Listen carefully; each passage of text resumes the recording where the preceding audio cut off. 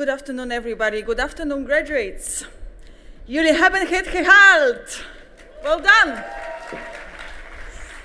I can almost hear your thoughts right now. Yes, one more speech, but I promise it will be brief.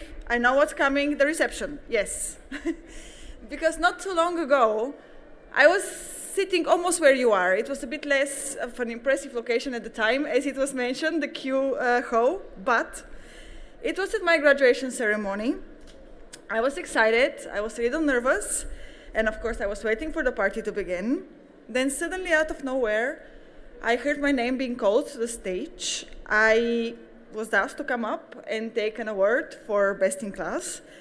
And I was just staring there in disbelief. I could not believe this. And no one had warned me this was going to happen.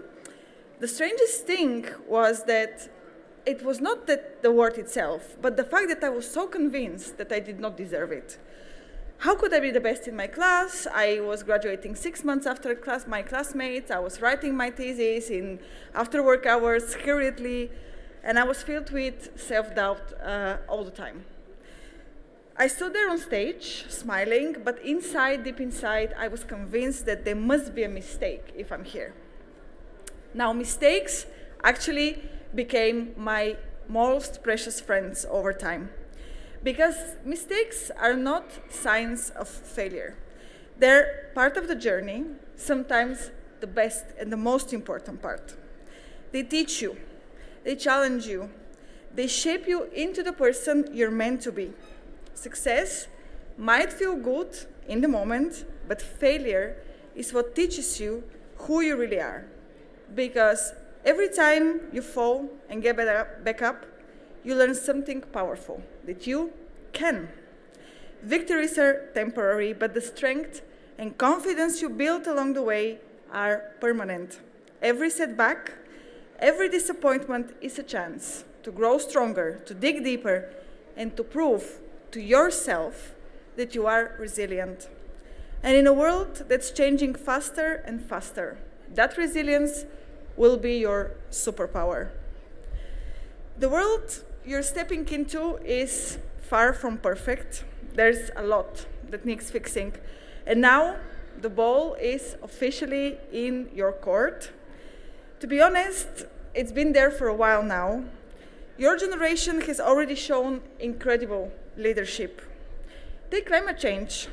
It was you who finally made the world sit up and take notice. You brought the fight for future to the forefront of global decisions. Sure, there is still a long way to go, and climate change is just one of the enormous challenges we are facing. It is easy to feel overwhelmed, like changing the world is an impossible task or that it is someone else's job.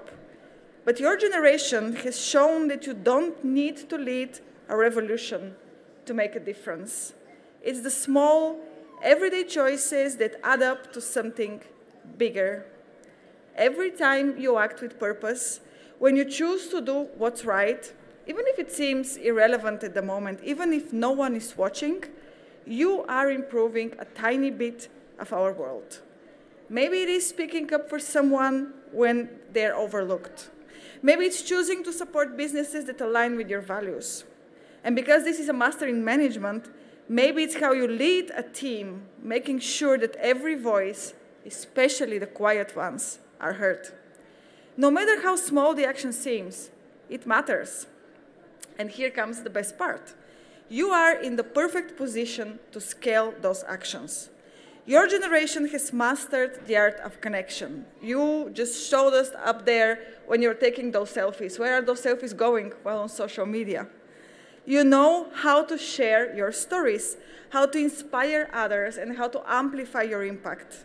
This ability to lead by example makes you the most powerful generation ever. And as VUB graduates, you already understand the importance of giving back, of contributing to a better world for everyone, don't wait for someone else to tell you to make a difference. You don't need permission. You already have the power, the tools, and heart. When you lead with integrity, you take ownership of your impact, you inspire others to do the same. Take those tiny steps, Make those choices and trust they matter because they do. Years ago, I didn't believe in myself when I stood on that stage, but after many mistakes, I've learned better. I am back on that stage now.